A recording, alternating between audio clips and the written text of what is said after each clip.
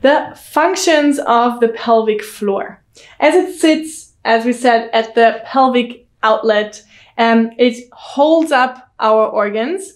It supplies the ability to hold in feces, gas, and urine, which is also called the ability of continence. So any disturbance with that would be called incontinence. So the pelvic floor muscles provide continence for us. This um, needs them to be strong, but also have the ability to relax. That means we need to have coordination about those muscles. Okay. We need to be in control of that.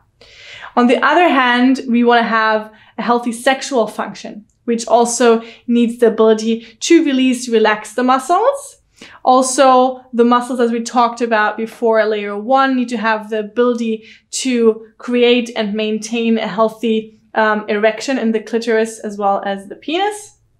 And uh, another function would be the stability and overall um, function that we will further explore in the connection with the core muscles, right, which are up here. So there are indirect connection with the pelvic floor, providing an amount of stability um, for the core system, as well as the sump and pump function, as we call it, in relationship to the blood and lymphatic system. So also here, if the pelvic floor is too tight and is not mobile, there will be an issue with blood supply and blood flow, since this is also a uh, quite central um, connection between the upper and the lower um, half of the body. So also there we have the function of um, flow and supply. To um, conclude the function of the pelvic floor muscles, they are providing us with support for our internal organs.